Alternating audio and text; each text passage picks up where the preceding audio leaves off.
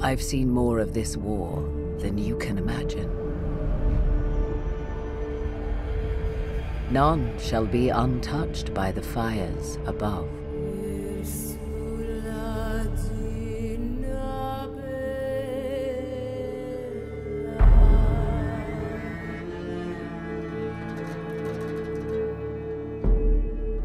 Faith lies in ashes.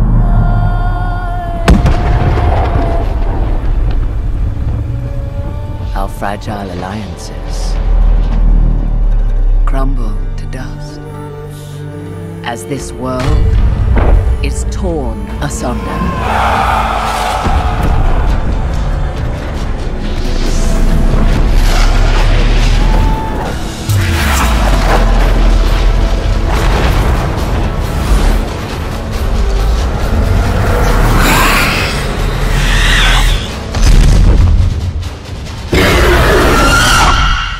Darkness closes in.